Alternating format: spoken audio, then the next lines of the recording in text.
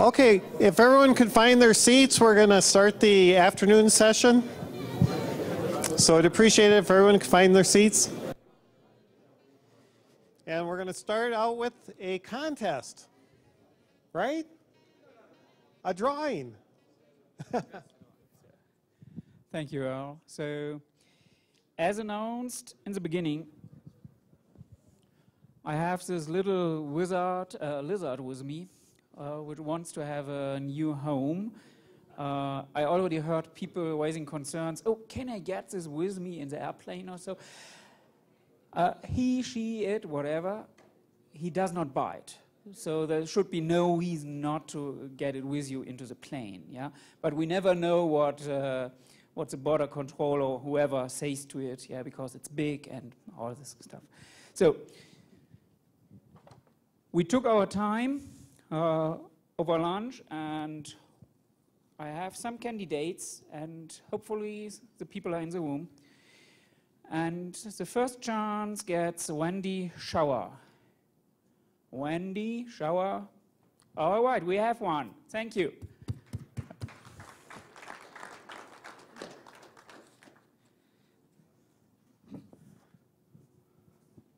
So, thank you, Wendy. That's yours. Right, thank you. Hey, good luck.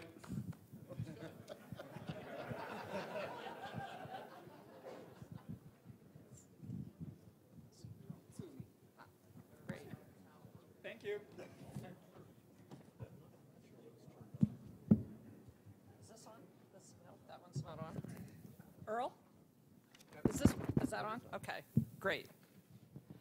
All right, thank you, everybody. Come on in and sit down and let's get going again. Listen, it's a real pleasure to be moderating this panel. We have the home team here. You can't come to Boulder and not hear from NREL, the National Renewable Energies Lab, and we're just so pleased uh, that Steve Hammond and a couple of his uh, colleagues are here today. Uh, we thought it would just be a terrific idea uh, to have them participate and give us an update on some of the real cutting edge uh, computational work that's uh, underway here. As a number of you know, NREL has one of the newer supercomputer centers uh, in the DOE system. Uh, and Steve Hammond, who will be speaking first, is the uh, head of that supercomputing center. Uh, also joining him is Mike Sprague, uh, who is a senior scientist in the center also. Uh, his research interests include computational mechanics of fluids and structures and numerical methods for modeling.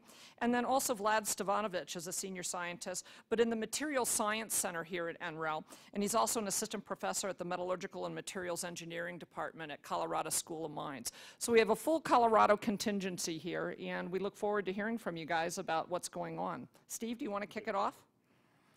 Thank you, Susie. Um, so I want to um, thank IDC and the organizers for inviting us to speak. Um, it is a pleasure going to a meeting and having it as a home game. I think it's 15 minutes from my garage to the parking lot here. It's closer than getting to the lab.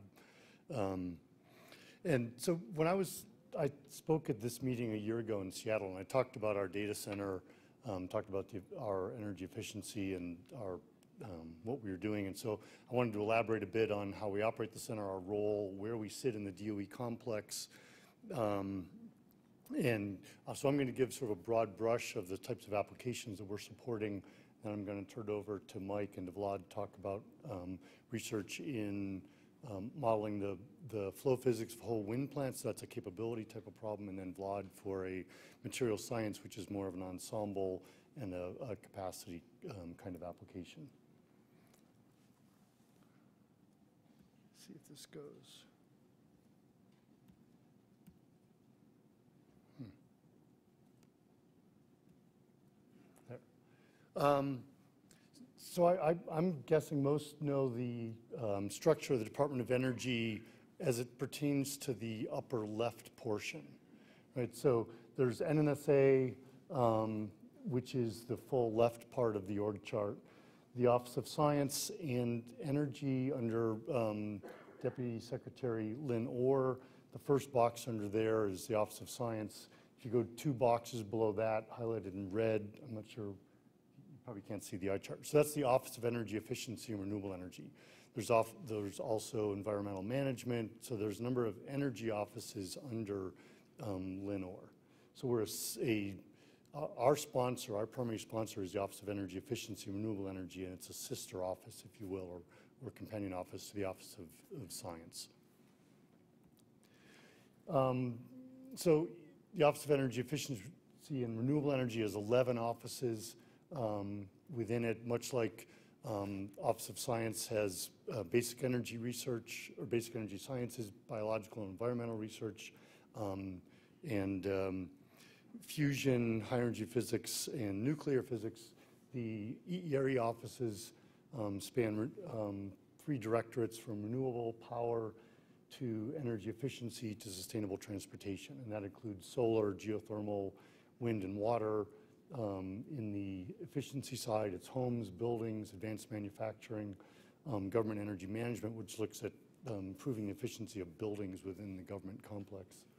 Um, And then um, you'd imagine in transportation, there's vehicles, fuels, and um, hydrogen and fuel cells. So when we look at the DOE portfolio of computing, most of the focus to the meeting to date has been at the sort of tip of the spear, the leading edge um, systems um, driven by Office of Science and NNSA. Um, There's also lots of institutional computing systems sort of sitting in there, and I think it's been mentioned, there's a sort of a missing middle. Um, And looking at HPC resources for the energy offices, something that's maybe 10% of the leadership class system. And it's um, not just hardware, but what EERE is looking to do is to establish computational science, modeling, and simulation as a means for advancing their mission, just as the Office of Science and NNSA has done for theirs over the past decades. So we're relatively newer, um, but the, the focus is on um, sort of developing a culture of high-performance computing and modeling and simulation for the energy offices and to fill a gap that's not being met at the leadership class system. So it's, it's not just hardware, but it, there's expertise, there's domain expertise in doing something that's indigenous at, at the other labs and offices. So our, our role, the mandate is, we are at NREL, um, we provide the primary facility for the Office of Energy Efficiency and Renewable Energy for providing high-performance computing. Um, The system we have, which is a 1.2 petaflop system, is the largest system in the world dedicated to renewable energy and energy efficiency. Um, Go on. So we are EERE's only laboratory.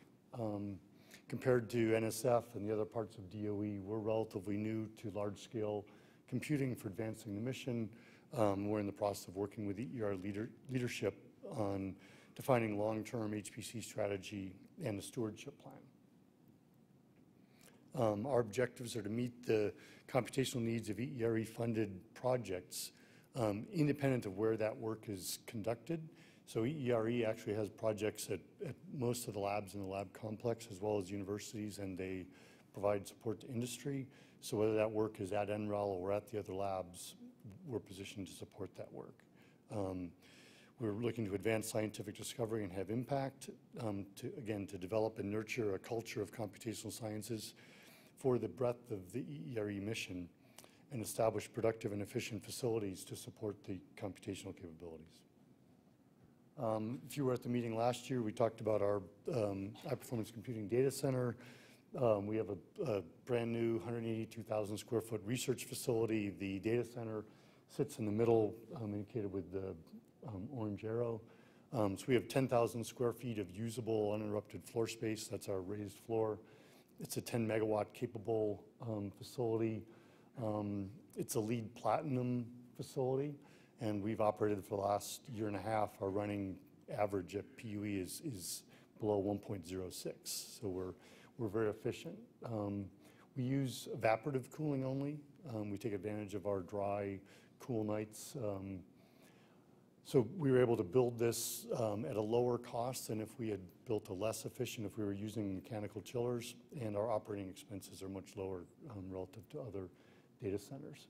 Um, We've driven direct component level liquid cooling, so our cooling supply is 75 Fahrenheit water.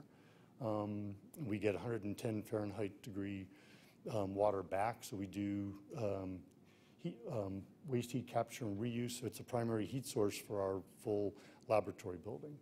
Um, We have a few fans, but mostly it's, it's pumps, and pumps are much more efficient for cooling than, than lots of fans. We've adopted a holistic view of, of the data center from chips to bricks, and so we've integrated our um, compute capability into the data center and the data center into the campus. And we're, actually over the summer, we were exporting heat from outside of our building to other places on campus. Um, So part of that was our data center mission, so we're, we're advancing energy efficiency.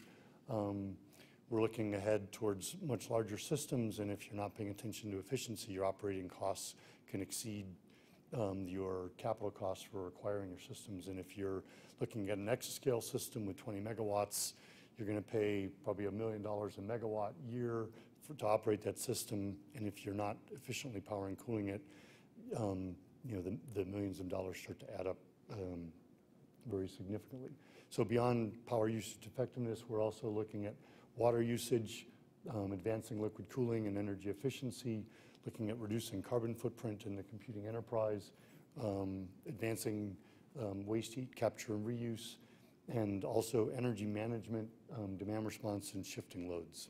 Um, How do we do that within a, a um, quality of service agreement with our applications? So we go through an annual um, allocation process. Um, We're in the midst of reviewing and allocating our system for the FY16 year. It's modeled somewhat after the ALCC process conducted by the Office of Science, um, but it's driven by EERE programmatic milestones. Um, So we, um, let me see, so we're ensuring our resources are aligned with the mission, so people are requesting time, we want to make sure that's aligned with um, projects that are funded within the Office of Energy Efficiency and Renewable Energy. So that's um, aligned with milestones, part of ERE solicitations, um, and then within the ERE, ERE mission space. So our current um, compute capabilities, uh, our system is called Peregrine. It's a 1.2 petaflop peak.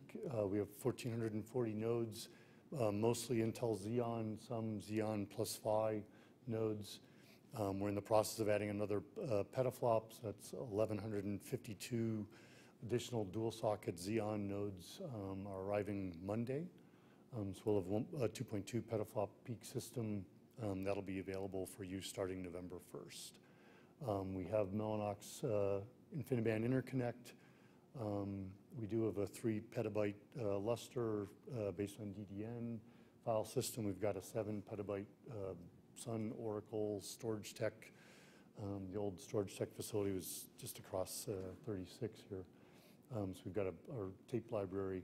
We also have an insight center for um, immersive, interactive scientific visualization and data analytics to go with this. If you wonder where our projects are, um, during fiscal year 15, we're supporting 68 projects. Um, The big three, in terms of 75% of our workload, is in uh, wind and water power modeling and simulation, um, bioenergy applications, and solar energy. Um, We also do uh, work in buildings efficiency, um, energy systems and grid modernization modeling, some computational science projects, and then um, vehicles. Um, We have a very mixed workload. Um, We have some um, traditional capability, large uh, jobs that take, you know, a good fraction of the system, but we also have a lot of jobs that do parametric studies. I would say our workloads differ from typical sort of Office of Science workloads in that they're engineering and optimization. Um, I was joking with the Office of Science program manager, and he said, geez, you know, I don't envy you guys. You know, we publish papers, and pardon my French, says, your shit's got to work. Right, so when we're looking at wind turbines and we're looking at PV systems, uh, it's not a existence proof, it's a for all. So they've got to sit in the field and work for 20 years and optimizing the, the materials in use and over the lifetime of the system in various weathering conditions. So there's a lot of engineering optimizations or finding materials that are earth abundant that give the same sort of optical and electrical properties that are desired are important facets. Um, we do a lot of computational screening and guiding of engineering. Um, these are workloads that aren't necessarily sort of um, tightly coupled PDE um, solves of, of traditional Office of Science workloads. Um, we do a lot of resource assessments. We look at, I'll, I'll say a little bit more about that, but looking at where there are wind resources or where there are optimal solar resources. During diurnal cycles and different seasons and inter- interannual variability. Um, We also have some jobs that take lots of small node count, and, but they do hundreds of them, and they need um, large memory footprint, and they need to run for several days at a shot. Um, Then uh, we have tight coupling with industry. We have over 340 cooperative research and development agreements with industry. So we have proprietary designs and data that we work with, and we can't necessarily just ship that off to a cloud resource somewhere. So taking a look across some of the spectrum of the um, uh, modeling and simulation that we do, Mike is going to go in a deep dive on this, but um, shifting from modeling individual blades and turbines to whole, looking at the complex um, flow physics of whole wind plants is, is one area that um, we've identified as a clear exascale application. So I'll, I'll let Mike speak to that in, in depth um, when he's up. Um, I mentioned um, um, resource assessments. So we're responsible for providing um, assessments for um, the wind industry and make the data available. So we run, we reanalyze weather data and provide 80-meter tower data across all of the continental U.S.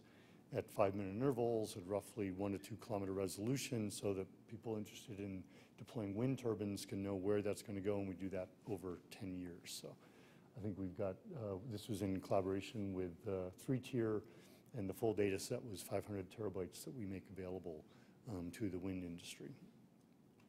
Um, In fuels, um, uh, we do a lot of molecular dynamics work, looking at how enzymes can break down um, cellulose. So this is the woody parts of plants.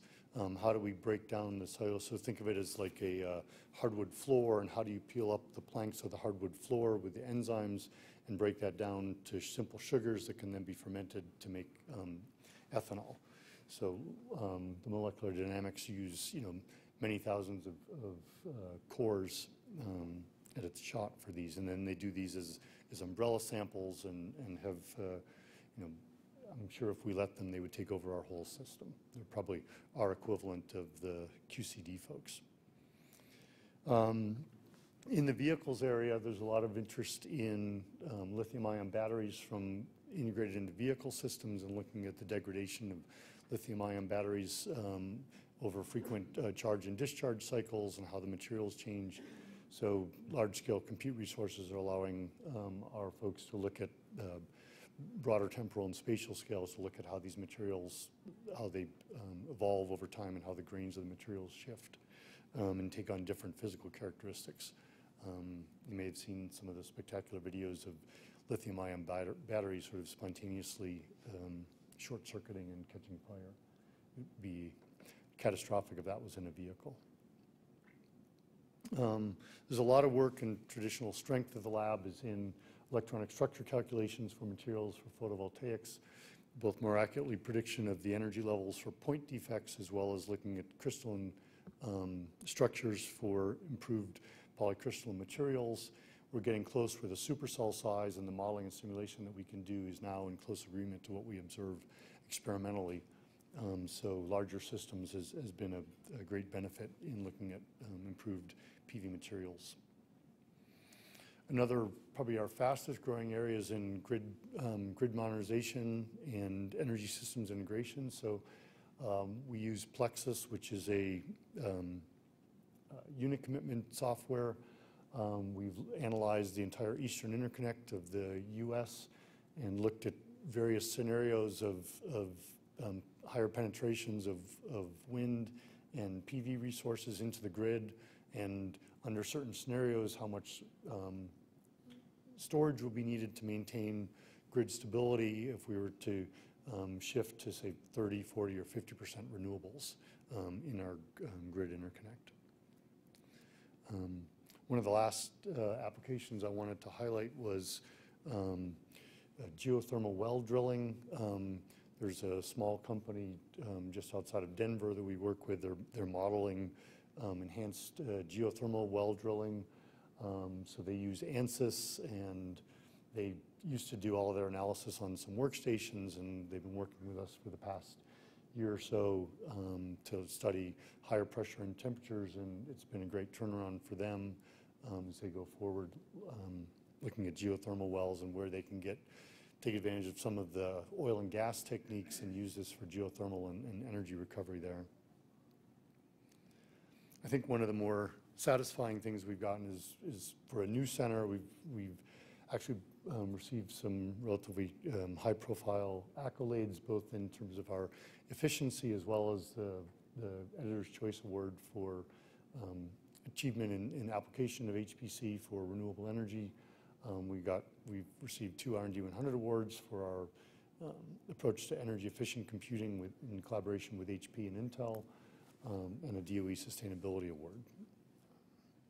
So I'm, I'm going to stop here. I'm going to turn it over to Mike to give a, a deep dive on, on uh, wind modeling, and then to Vlad for um, materials in solar.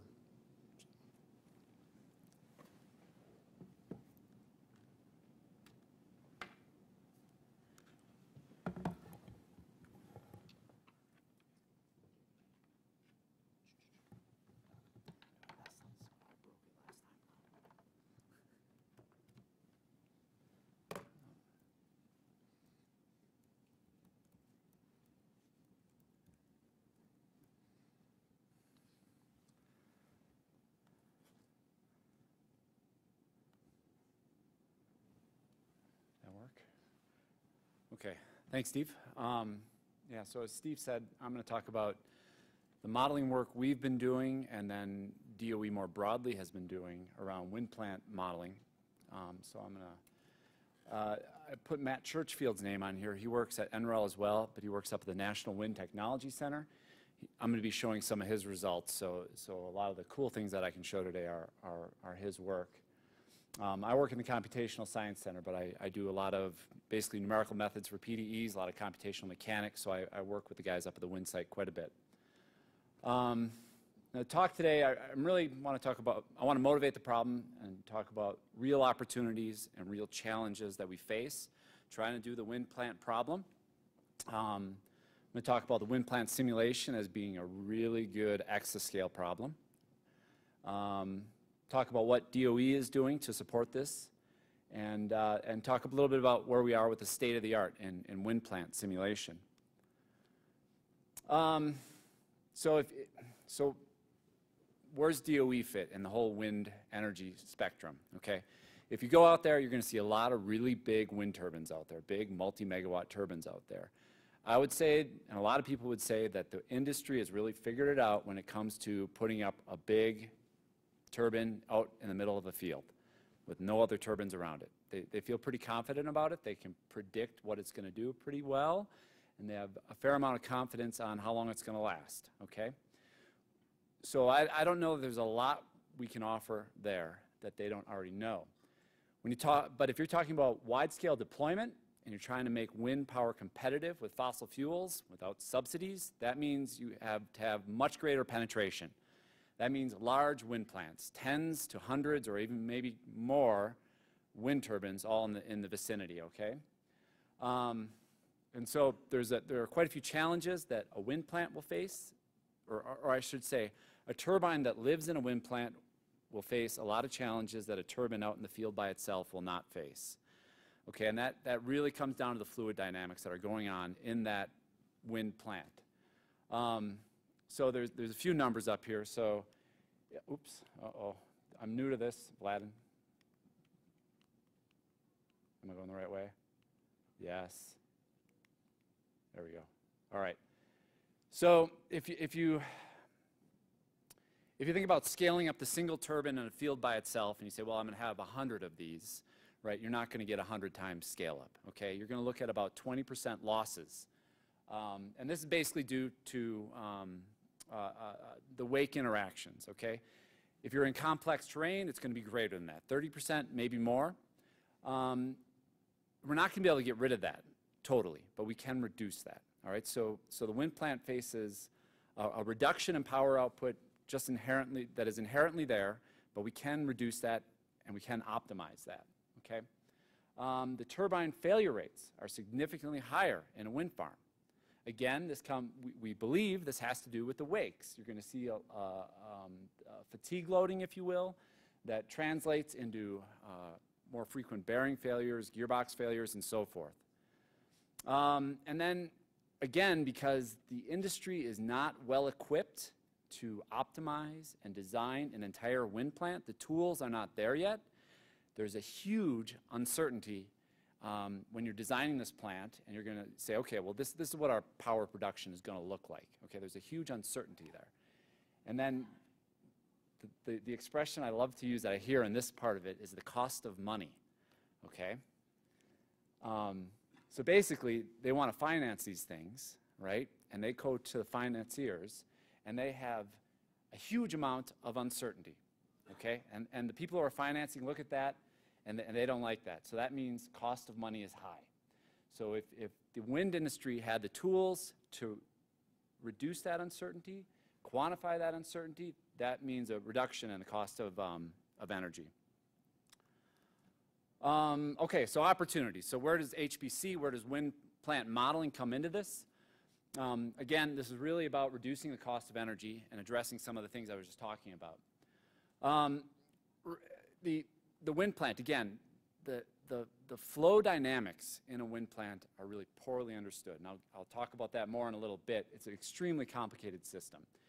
It, it, I guess maybe my, my, my point here is that if we understood it better, we'd be able to design better plants. All right? Um, and again, I mentioned the tools that the industry has right now for designing wind plants. I would say they're pretty lacking.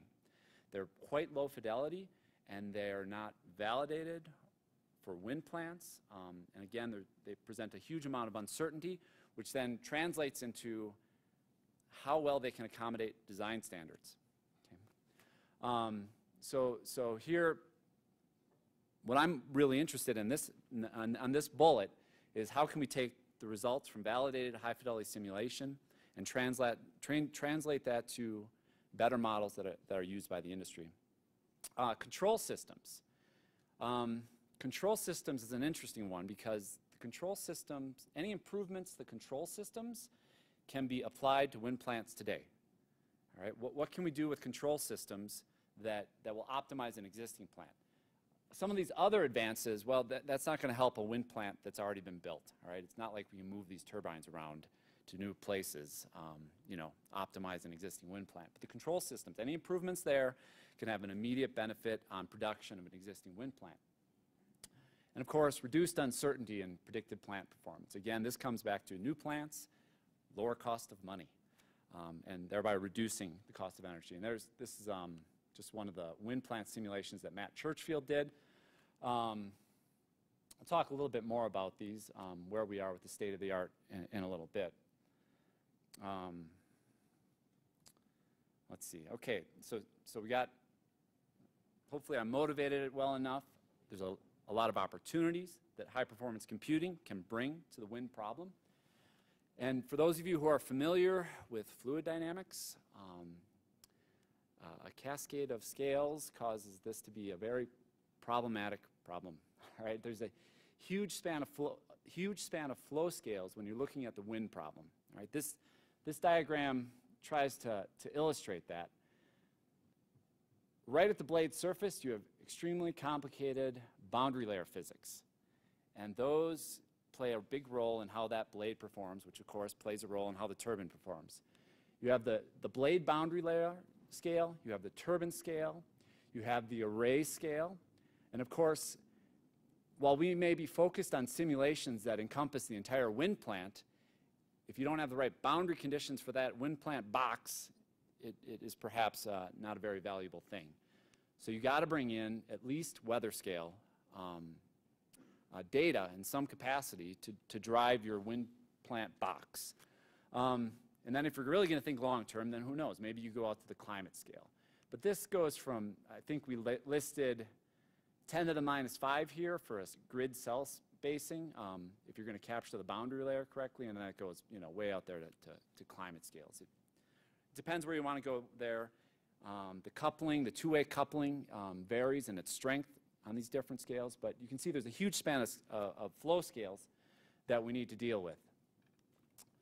Um, okay, let's look at very complicated flow physics that our models have to capture within the, the wind plant itself. Um, let's see, the, um, I'll call out a few of these. So right, I, I just talked about the boundary conditions on your wind plant box, right? So you- modeling the atmospheric boundary layer in a manner or to a fidelity that is appropriate for a, a wind plant is not an easy thing in itself.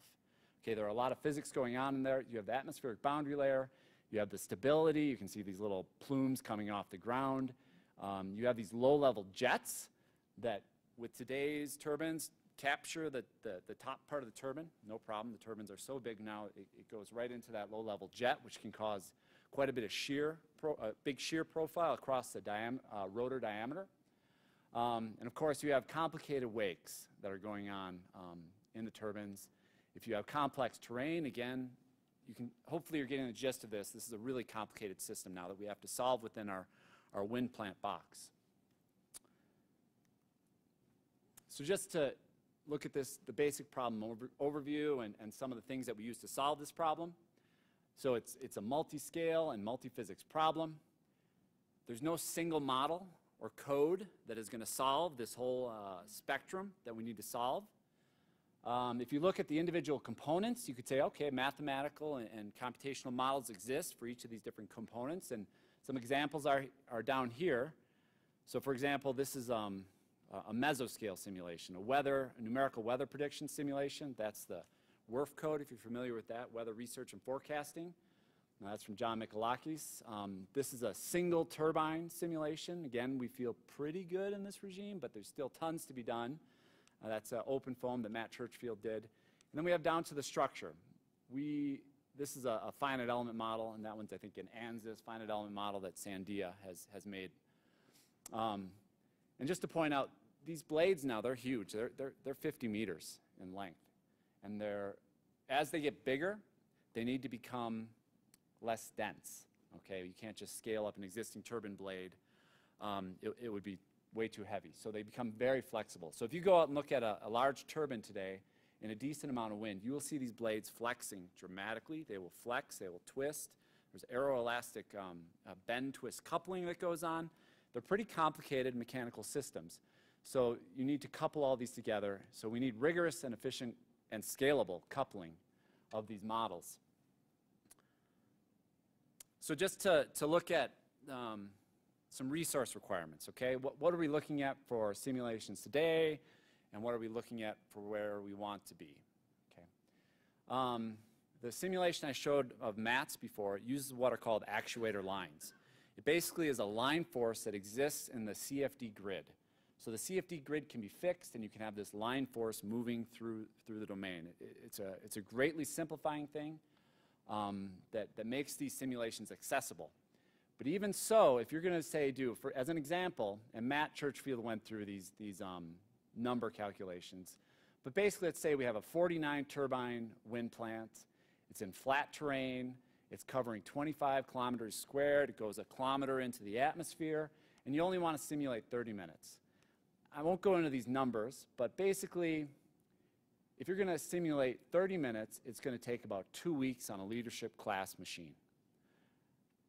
There are a lot of approximations in this approach. There's a lot of questions about how predictive these actuator line simulations are and how uh, good the CFD is with this kind of grid resolution. Looking forward, we want to be able to resolve the surface of the blades to, to reduce as many of these approximations as we can. If we think about that, so future simulations with resolved turbines, um, what did he call out? I mean, I mean, we're talking billions of grid points here. We're talking million time steps, uh, billion CPU hours. I mean, if you look at the numbers here for the future simulations that we're looking at, we're actually resolving down to the, the blade surface, the blade geometry. We're, we're very much talking um, an exascale system problem. What I will say about this for exascale is that the wind plant problem is very well suited because you could see it as a, as a, as a weak scaling problem, okay? If you were going to do the single turbine problem and, and do the blade resolve single turbine problem in that one box, one turbine, it's a petascale problem.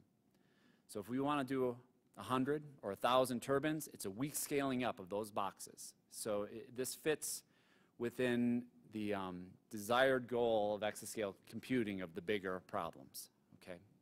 it it is a very nice um, capability problem. I wanted to say a few words about what the DOE Office of Energy Efficiency and Renewable Energy, how they're looking at this and what they want to do with this. And um, there's the Atmosphere to Electrons initiative. And over the last year, Steve and I and a lot of other people have been very involved with planning and trying to get this off the ground. And this is pretty exciting um, for me because it, it, it is really a shift for that office. They're really trying to use high fidelity modeling to understand the fundamental physics of whole wind plants. It's a programmatic shift from looking at single turbines to the whole wind plant. And high fidelity modeling is a huge part of that. It is at the core of it. They're doing it right in my mind. They are supporting um, an experimental campaign that is validation directed. Um, so the, the, the planning meetings we had, we've had modelers, we've had experimentalists working together to design the experiments. Um, we also have um, effort of a, the DAP, a data analysis portal. That's going to be at, at PNNL. And so the data should be publicly available, both experimental and, and um, simulation data is meant to be on the DAP. We've held two well-attended workshops for this program over the, since, um, since January. We had one workshop where we were just looking at creating the modeling and simulation environment to address the wind plant problem. Had about 60 or 70 people at both these, and we had another one, the wind plant modeling, that, and this is where we got experimentalists together and the modelers together to, to design the, the experimental campaign and the models that will be used in the ModSim environment. And for those of you who are into CFD, if you haven't heard of it, we just had um, an ASCR-led workshop on turbulent flow simulation at the exascale. And uh, that, that workshop report is coming together now. Uh, the website has a bunch of, um, will have all the plenary talks and so forth. But for those of you who are into, into CFD, you might want to take a look at what came out of that. I'll just make a few closing remarks, then I'm going to show a movie. Um, so I, I'm confident that, that HPC does offer us a pathway to reducing the cost of energy for wind energy. Um, capability versus capacity computing. I find this topic to be quite interesting in CFD land. CFD has traditionally been just, you know, the poster child for uh, a capability compute, computing. When you get coming out of the turbulence flow workshop last month, it was very interesting how much, and let me step back and say that was the application, those were all um, DOE application experts as well as just hardcore computing guys as well. And there was a, a consistent call out for capacity computing in the exascale for CFD. And this comes down to uncertainty quantification, sensitivity analysis. And in the exascale context, what people were promoting is not just simulations that could have been done with 1,000 petascale systems, but what they would call our loosely coupled, say, optimization, or loosely coupled ensemble simulations. And I was interested to hear a very consistent call for the importance of ensemble calculations in that context which there's, there's, a, there's a, a, mismatch then when you come to ASCR, for example, who is very much interested in capability computing. Um, but I could, I, am happy to talk more about that one off the record if someone wants to. Um, we're looking at still some challenges uh, within this research area. So that mesoscale, numerical weather prediction, trying to couple that with our wind farm simulations, that one is still a pretty big unknown on how to do it well. Uh, coupling turbulent flow across scales like that is not a straightforward thing. Um, uncertainty quantification and sensitivity analysis, we're talking huge simulations here. So what does that look like? Um, is that even possible? Uh, verification and validation, uh, coupling computation and physical data, uh, data analysis. I mean, these, these are topics that, that fit broadly in the exascale environment. Multi-fidelity model management, and then looking very much at how does HPC influence the models that industry is using, so the lower fidelity models that, that industry is using. Let's see. Where are we? So I wanted, so my colleague Matt Churchfield put together this little presentation about, well, I'll say that this is a This is a demonstration of how HPC can be used to influence an existing wind plant through, for example, a control system modification. Control systems have been traditionally very turbine-centric. So I'm an individual turbine in a wind farm. I want to optimize my own power production. This is a flawed egocentric view. Okay? You, this is where you should really be thinking about the whole. And so the, the example here that Matt's showing, so basically we have one, two, three, four, five wind turbines, and in this case, the wind is going right down the turbine line, okay? And, and in, in a turbine-centric point of view, each turbine is going to be facing that prevailing wind direction, okay? The idea is um, detune, if you will, detune each turbine. You, give it a yaw angle off of its preferred angle, and then look at the whole plant performance instead, okay? So the idea is, let's see if that works. I don't know if it's playing. There we go. Okay, so you can see the yaw misalignment. So he's twisting these, each turbine off the main direction, okay? And I'll just stop it right there and take a look at this. So on the, on the left here, all the turbines are aligned. So this is an OpenFOAM simulation with those actuator lines I was talking about. And each uh, turbine, of course, is living in the wake of all the turbines up in front of it. Over here, you can't see it so much here. You'll, you'll see it more in a moment, perhaps. These guys are yawed. So each one is, is not optimally placed. You can see that the wake kind of goes off to the side there. All right, so you've basically, by taking the, the yaw some number of degrees off of optimal, you've pushed the wake to the side.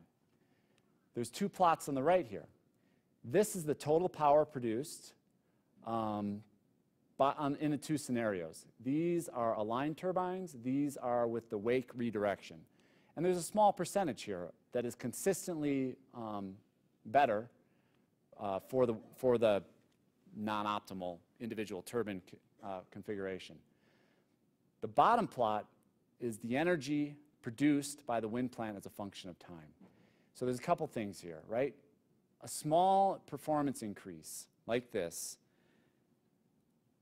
can translate to a huge change in the overall energy capture. Okay, this can make a huge difference in the cost of energy as produced from the plant. Um,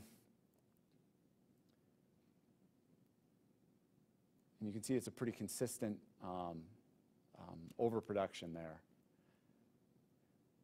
So an example of how if you just change a control system environment, you can make a significant change in the overall power production of the wind plant. Um, I guess I'm going to stop right there. And I'll turn it over to Vladan.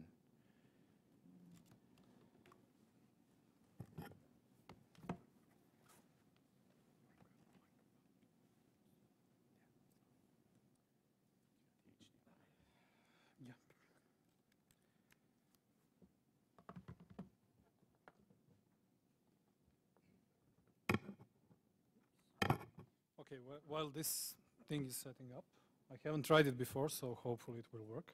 Hello, everyone. Uh, as you can see, my name is Vladan Stevanovic, and I'm coming from two institutions, Colorado School of Mines and NREL, that, that are like four miles apart. And my work uh, is more on the fundamental science side than the applied. Per Steve's remark, previous remark, I'm one of, the, one of those guys that publish papers. Uh, and, but I hope to be doing something that is actually at the same time relevant. And then Steve invited me to talk uh, here about materials by design, which basically is, it stands, I mean, it's a, it's a hot word, uh, phrase, but it, what, what it stands for, it's basically can we design materials like we design cars? Can we assemb assemble atoms in a certain way, knowing the way, and then be able to predict properties and actually realize those materials in reality?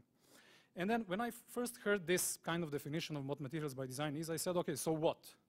Uh, I mean, since the Bronze Age, humanity was doing the same thing. Huh?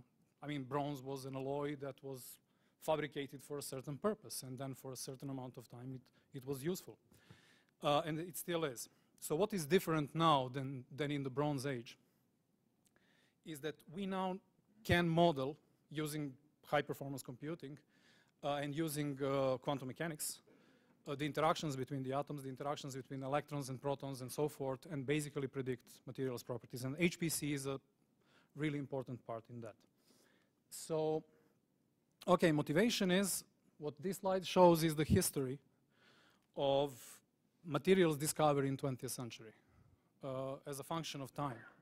And if you look here, every material that you probably use in your everyday life took from the first paper published on that material until the deployment about 20 plus years.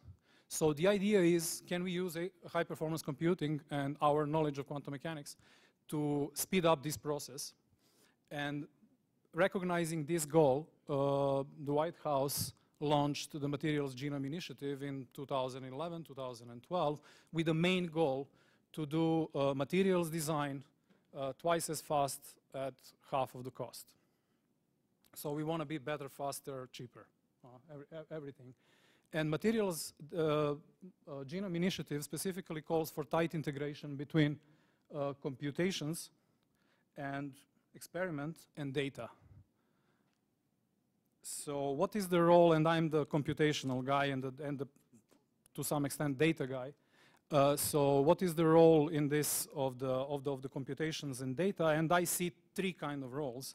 First, we want to have predictive approaches to actually, because of course the reality is more complex than we can model it ever. So the question is how can we appro approximate that reality so to be relevant? So I'm sitting in the place where I'm trying to develop predictive models that can be used on, on uh, high performance computing machines that can actually produce some, some results. So there is that part in data generation. Then there is a uh, Materials Genome Initiative called specifically for data sharing and uh, building knowledge from, from the data. And that applies to both experimental and, and computational data. A uh, couple of words about MGI work at NREL and Colorado School of Mines. We had a number of programs, and we still have a number of programs, and I'm listing four. Uh, the first one is the Center for Inverse Design that was a previous energy uh, frontiers research center funding by the, by the US Department of Energy. It stopped existing last summer, but then we recompeted and we got the new EFRC, which is called Center for Next Generation Materials by Design. And these are large uh, 20 million-ish uh, dollar efforts over four to five years, involving multiple institutions and NREL as, as, as the lead. Uh, there is also an NREL MatDB, which is the database listing all the results from, from, from these efforts that, are, that is hosted by NREL HPC. And then we also have programs which we called uh, TE Design Lab on thermoelectrics funded by the National Science Foundation. Uh, slide on people. These are the people I will not go. So we have co collaborations with MIT, Harvard, and the other institutions uh, involved, involved in, in these relatively large programs. So what I want to show you here is an example of what I actually do and why are uh, HPC uh, resource is very important in, in, in, what I do. And I'm, what I'm doing uh, can be called capacity computing. So I'm doing many, many uh, relatively small calculations. And when I say relatively small, I mean a couple of nodes, meaning 50 to 100 cores, involved for each calculation take, takes about four to six to 10 hours in, in that order. And, but the number of calculations is hundreds of thousands, uh, summing up to tens of millions CPU hours per project, basically. And the example that I'm showing here is the prediction of new, entirely new materials.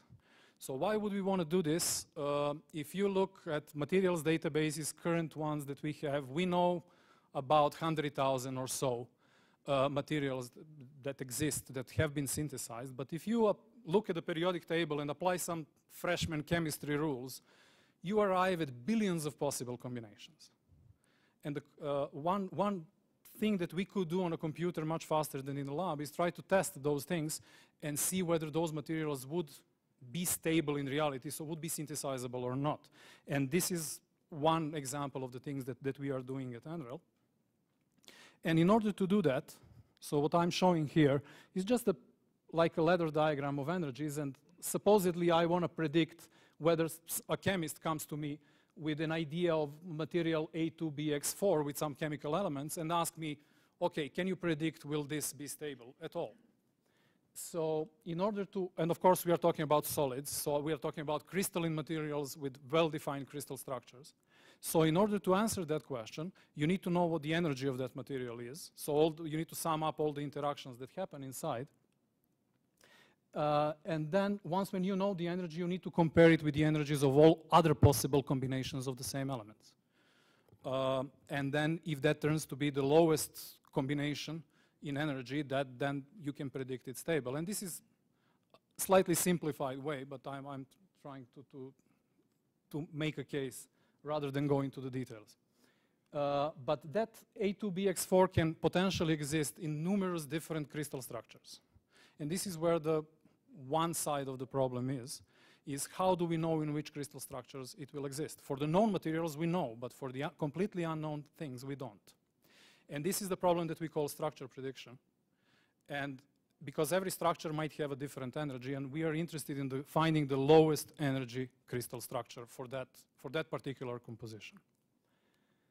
Uh, what do we do in calculations? We are basically solving quantum mechanical Schrodinger's equation, which is an analogous of Newton's equations in classical mechanics. And when you have a crystal structure, which is here represented by this grid, where the, the ions or the, pro, or the nuclei of the atoms sit in every grid point, then you have nuclei in grid points, and then electrons represented as these smileys are supposedly wandering around, confined in this space of the crystal. And what you want to solve is basically solve for the dynamics of the electrons, represented by this relatively complicated equation. I mean, it's much less complicated than Navier-Stokes, but it's still pretty complicated because you need to solve it for very many electrons at the same time. And they are coupled because they interact both with, with nuclei, but they interact among themselves. And this is what makes the problem very complex. Uh, so this problem, and again, not going into the details, this problem has been not solved, but uh, useful approximations have been developed, and the Nobel Prize in Chemistry in 98 was given to these two guys, to Walter Kohn and uh, John Pople, uh, one for the development of density functional theory, which is the first principles or ab initio calculations as it is uh, also called in the high performance computing community. Uh, and John Pople for the first useful implementation of density functional theory into an actual code. Uh, okay, so what are the typical inputs and outputs of our calculations? Well, so what I input in my calculations are uh, the positions of every atom in a crystal structure because the crystal is a periodic system, so you need to define that only for a single unit cell, and then it's periodically repeated. And I need to put atoms in some with, with some coordinates into the box, and then let the codes output the total energy of the system, uh, electronic structure, and so forth. Uh, so this is, this is what is typically done. And then I'm, uh, the input is actually assumes a certain crystal structure. So going back to the problem that I, that I uh, initially started talking about, how do we know which crystal structure should we assume? Uh, the most trivial solution to this problem that I will be showing you, to, you, you today. There are many more, many com more complex methods to, to determine this, but the simplest way is to try, if I'm interested in A2BX4 chemical formula, I can go into the databases. We know 100,000 materials. I can basically look similar uh, materials crystallizing in the same, I mean, having the same chemical formula in how many different crystal structures they crystallize. And I can use that as an ensemble, an ensemble of crystal structures as my test set and so I, if I can perform calculations on every one of those, I could approximate the lowest energy structure somehow. This is trivial in principle, but in practice is much less trivial. Because if you go into the databases, for A2BX4, there are about 40 different crystal structures that known materials assume. Again, you're, you're basing everything, uh, your results on the existing knowledge, uh, which is an approximation again. But still, uh, there are about 40, 40 different crystal structures, okay? And then if you are interested in about 400 of these combinations of A2BX4, and then I didn't talk about some details of magnetic structures and blah, blah, blah, so not going into real details, but you are easily climbing to hundreds of thousands of calculations. Independent calculations, each of which requires uh, couple of tens of cores, so from 20 to, to 200 cores, lasting in, in the order of 10 hours. So we are easily talking about 10 million CPU hours. And this is a relatively, conceptually relatively simple thing. Okay, uh, we did this uh, for the A2BX4 system. We did it for many more systems since then, but like a couple of years ago. And did, this took us about 10 million CPU hours. And this was done on NREL HPC. And I need to say that NREL HPC was really instrumental in achieving this. Of course, then there is the whole uh, business about not launching all these jobs by hand. And, you know, we, there are some software developments about how to automata automatize all that, uh, specifically for first principles or DFT calculations, and to facilitate the extraction of data, the data analysis, and, and, and that kind of stuff. I will not be talking about that, but that was also part of the work where HPC uh, HPC helped us a lot. Uh, and then what I'm showing is the relevance of these kinds of things. So what I'm showing here is the comparison with experiments on a material that, that is known, so it's not new material, so it's kind of a test how all this business works. And the material is a mineral, manganese silicon 04, uh, having that kind of chemical formula, 214. And once when you do these kinds of calculations, then you can apply some additional physical models, and then you can construct these kinds of phase diagrams of the PO2 versus, uh, so oxygen partial pressure versus temperature, which are the typical handles that experimentalists have in, in the lab. Uh, the temperature and pressure. And then the green uh, line or the green region is the region of stability of this material. So this is an output of, of our calculations. And as you can see, experimental uh, synthesis really happened inside, in, in, inside that green, green area, which kind of provides confidence that what we are doing is actually the correct. Uh, this is not one example. We have many, many more of these. So this is another system, Cobalt 2 Zinc 04, where you can have, so again, the green region is the region of the material that we want, and the other regions are uh, regions of the existence of other phases. Uh, apologies for, for the colors. I was trying to avoid all the national flags. I, I know. okay, so this is the synthesis, bulk synthesis. This is my colleagues at NREL did it in, in thin film chambers, growing this material. And as you can see, the, the agreement is good. Uh, then this was also used, as initially I said, to predict entirely new materials. So colleagues of mine used the approach that we together developed. And while I was focusing on A2BX4 materials, they were focusing on ABX materials. They had predictions of about 50 new, completely new, never before synthesized materials. And then experimentalists from Northwestern University, our, our colleagues, managed to synthesize nearly 30 of those in the crystal structures predicted by the theory. And this was published in Nature Chemistry like a month or two, a month or two ago. And this is, I believe, an illustrative example of why do we need HPC. Um, so I will wrap up now uh, and basically repeating everything that I said so far, that uh, modern material, material science cannot be done without computers. Uh, we need significant computing, co computer, computing resources. Uh, for the work that I do, I, it's 1,000 petascale computers is more useful than an exascale computer. So when I was starting my, my PhD sometime in 2005, 2006, big computers then, I was doing it in Switzerland, uh, big computer then was like a thousand cores or, or so, so relatively much smaller than what we have today. And then the question, I mean, it, it was obvious that uh, much larger machines are coming. And then the whole field was kind of wondering, the field of ab initio first principle calculations was wondering where, where shall we go? Shall, shall we pursue linear scaling methods and really do uh, large scale compu computing with large system sizes or shall we, uh, shall we go for doing uh, many more calculations at the same time in parallel? And the field kind of split in two. Uh, the linear scaling is not yet there and uh, the high, what we call in, in our field, uh, we don't call it capacity computing, we call it high throughput computing, apparently is taking over, uh, or at least to my, to my knowledge is taking over. And it's relevant for experimentalists. Experimentalists really uh, I think, found finally found use of, of theory, uh, as and and that is really um, a result of, co- of a combination of theory plus high performance computing. And I will stop here. Thank you very much.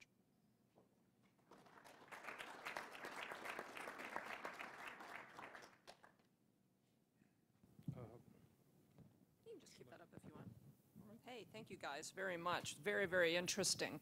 Um, As the moderator, I'm going to take the liberty of being the first to ask some questions. So I make sure I get mine in, if that's okay.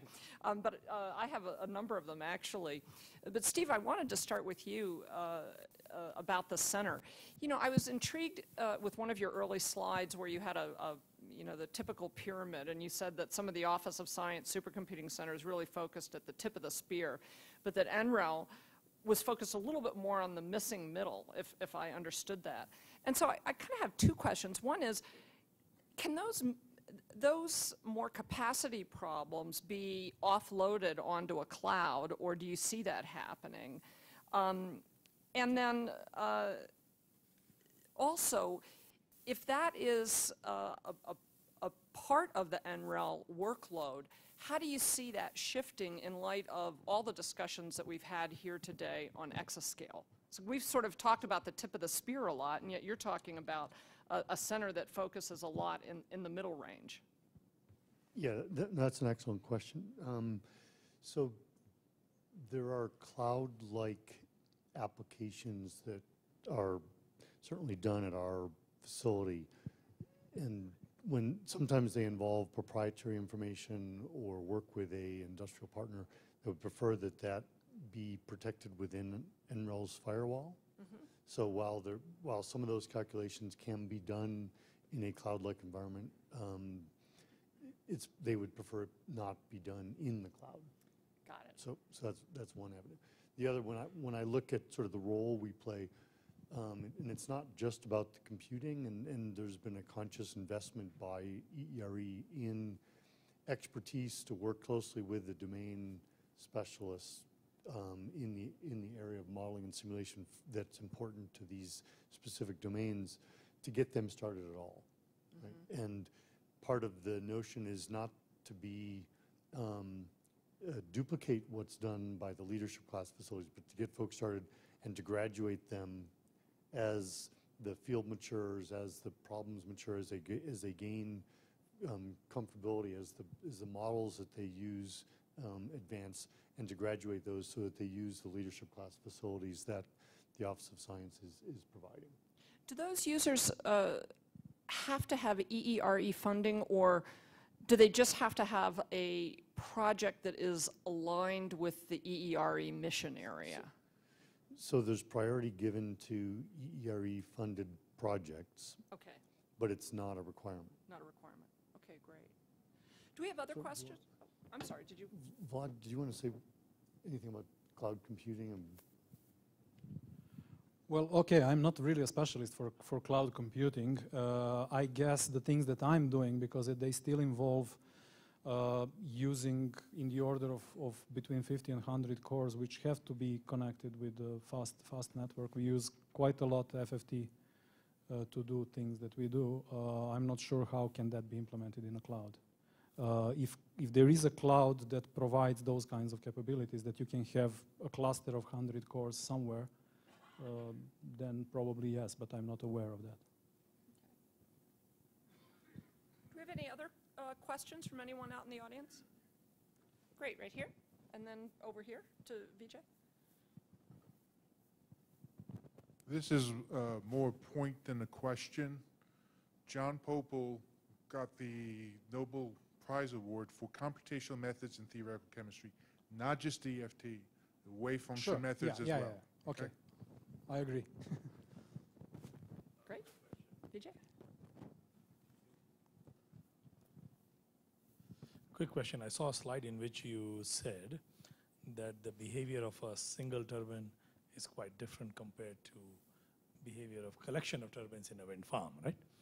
And I imagine part of the implication was that it can lead to larger failure rates of blades when they are in a farm. And so I, I'm, my question is, are you, does the lab consult with people who are operating building farms? And are we in a position to simulate uh, uh, a, collection of 50 to 100 wind farms within a given location and so forth?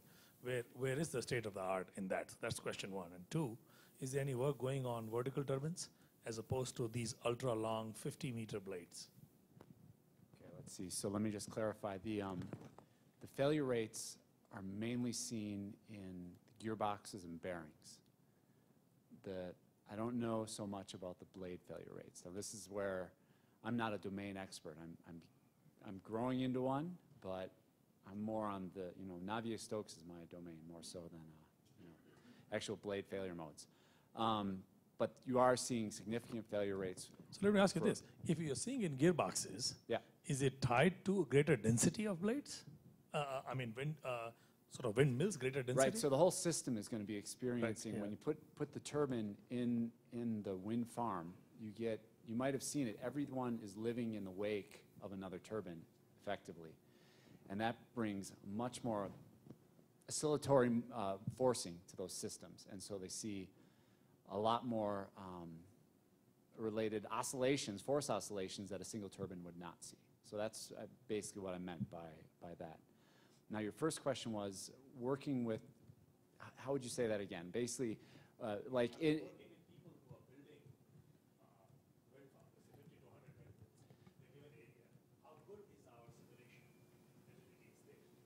It's not good, right? The, the models that they're using to design the, the wind plants right now, there are very few people who are doing the kind of simulations that, that I was showing um, in designing the wind plants. And, and the high fidelity simulations at best will only be a point check, right?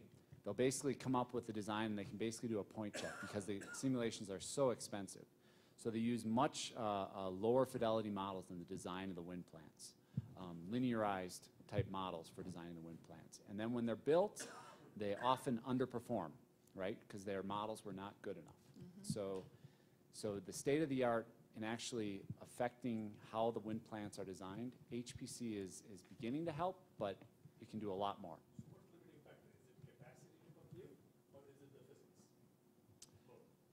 Both, right? I mean, the, ex- the, the calculations are so expensive to do if you're gonna, the state-of-the-art calculations, like I was trying to get at, they're, they're petascale type simulations, and you're gonna be able to get a 30 minutes uh, simulated time over a couple of weeks on Mira, right? So that's of, of great limitation using it in design. That kind of calculation, in my mind, it, its purpose is really in understanding the system and affecting changes in the lower models that are actually used to design the, the wind plants.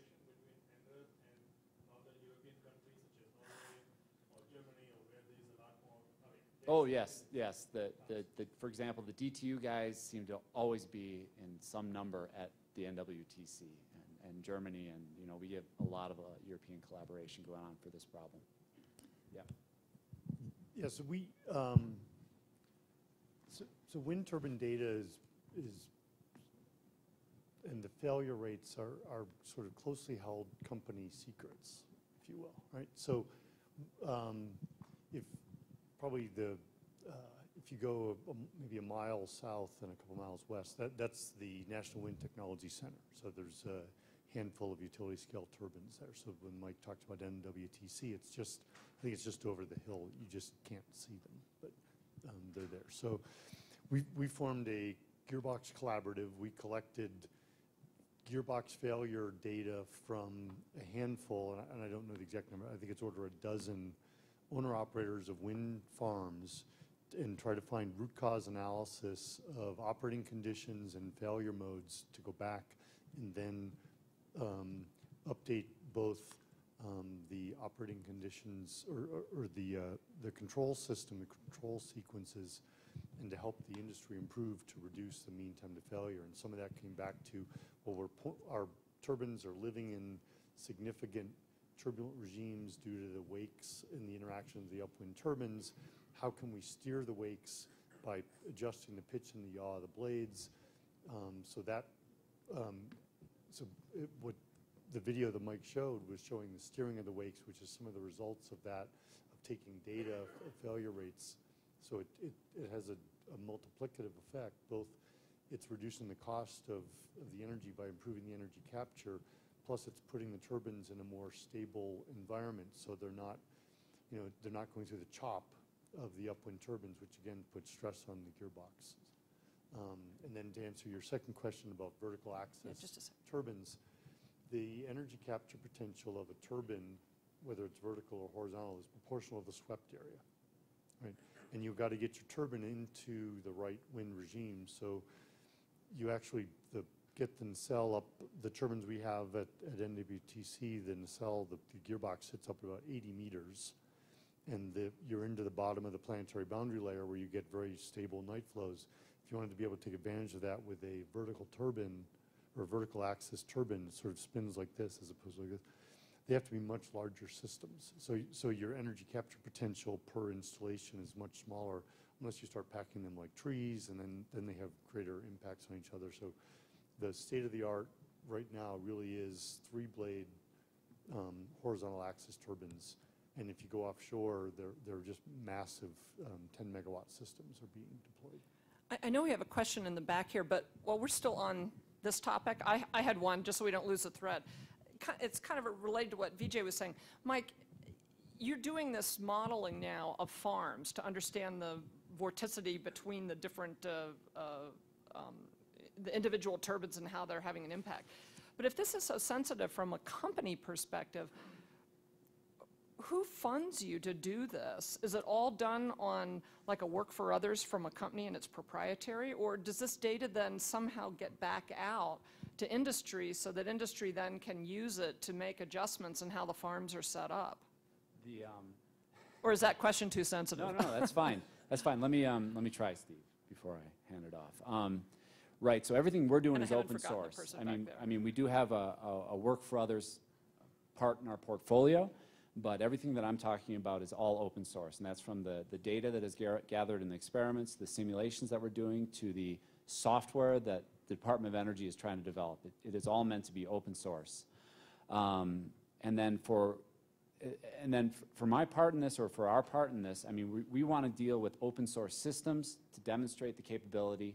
We want those capabilities then influence what the, the industry itself is using, right? So, mm-hmm. so we're trying to make the, come up with the ground truth simulations and the state of the art and the, in the computational methods for solving the systems. And we want the industry to take those things and, and to push the, the, the, the process. And then for our validation, for example, we have a, a three turbine wind farm down that's being put up in the Swift facility in Texas that Sandia is putting up. Um, so part of our experimental validation of these systems is to work with that open source system. I see. So, you want to add anything to that? Yeah, just, so, so the Gearbox Reliability Cooperative was funded by the Department of Energy Wind Program Okay, to, to fund uh, lab resources, staff time and, res- and um, sort of capabilities in, in computing to anonymize the data to, sh- so that each company could see its data and everybody else's, but, but you couldn't, you knew which was yours, but you couldn't um, identify anybody else's directly. So it was supported, the companies came because they realized that they didn't have enough data all in their own to be able to find the whole problem, to find that needle in the haystack, but collectively they could. got it. So DOE supported the, the gathering of the tribes to get together. Um, NREL was the trusted holder of the data without sharing whose data was which, associated with which particular installation. And then, then it was shared. They all could see the data, but they didn't know whose was which. Cool. Very good. Now, I think we had questions in the back. Someone else had a mic? Yeah, so actually Susie stole my question. Oh, sorry, sorry. But, but I kind of have a follow-on. Uh, So are there issues around intellectual property and, and do you have a kind of coordinated intellectual property agreement that your industry folks sign? I, I don't know what the intellectual property arrangement was with the gearbox reliability, but for typical collaboration where there's a, if it's a funds-in cooperative research and development agreement, if it's a funds-in CRADA, then the company owns its pre-existing IP, joint IP is governed by whatever terms are negotiated within the CRADA agreement. So, so you're signing CRADA agreements even if no real money is flowing from It, again, it- companies? So there was, there was, the, the arrangement, I- I, I'm, I don't know what the arrangement was done with the Gearbox Reliability Cooperative that was set Okay. up. But I know the intellectual property will depend on the terms of the specific um, CRADA agreement. Yeah, okay. Question Just, over um, here? Maybe just follow one more little bit for one of the things we're doing right now is we're working with Siemens, and that did start under a CRADA, and um, Siemens has been great on this one because we're basically doing a validation of our turbine models with the uh, big 2.3 megawatt Siemens turbine that's just, as Steve said, over the hill from here. And um, we'll be publishing that data. We just need to um, mask the data in the sense to, to make it uh, non-specific. So just another example of what we're doing with the industry there. Here, Just, Doug? yeah, just a, just a comment, the, um, the ECI, the DOE ECI project can and likely will support applications that uh, need ensembles as opposed to, you know, one big honking simulation. The point is, is we're seeing lots of need for uh, sensitivity, uh, optimization, uncertainty quantification. Uh, So there, there's, you know, those sorts of workflows absolutely uh, can and will be supported. Great, thank you, Doug. Uh, Do you worry about uh, taking too much energy, energy out of the, uh, the motion of the air? I mean, if you stop it all, it's, it's not going to rain in Kansas, Kansas anymore, and they're going to be irritated. It's a fun question. Yeah, we are. It's, um, so this is, um, if you have the wind plant centric view, you can look at your weather forcing as a one-way forcing. If you're a farm that is sitting behind a very large wind plant, then you were- are very much interested in the two-way coupling aspect. So part of this um, mesoscale, microscale coupling initiative that I, that I spoke briefly about, it is, it is interested very much in the one-way coupling of forcing the wind farms, but there is also great interest in, in the two-way coupling. What does a wind farm do to local weather patterns? So, so definitely, uh, Julie Lundquist is, a, is the name that comes to mind up at CU Boulder, who is very much looking at that um, measurement point of view from, from out in the field measurements of changes in precipitation in particular um, in the vicinity of large wind farms. But if you think of the uh, wind turbines, uh, a wind farm as being a small, um, almost a small mountain, right? Because it puts a drag on the bottom of the planetary boundary layer.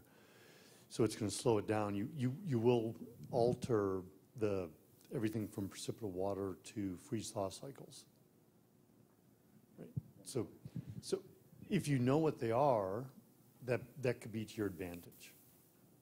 Right? You could use it strategically, not just, holy cow, what are we going to do, right? So knowing how close you can space them, um, what the impacts are, um, you certainly don't want to put in turbines in Kansas that turns Iowa into a dust bowl, One more interesting point on, on that is, um, what if you build a wind farm and then someone builds a wind farm right in front of you? Right? Any other questions? Nope. Okay, listen, we are running a little bit ahead of schedule, uncharacteristically, because we usually are running behind with so many questions, but we're going to take advantage of that right now. And Earl, could you come up and maybe we can do the ROI discussion now? And our colleagues here from NREL will be here, and we'll have a break in about 15 minutes after uh, Earl finishes his talk, and they're available for some more Q&A. Thank you.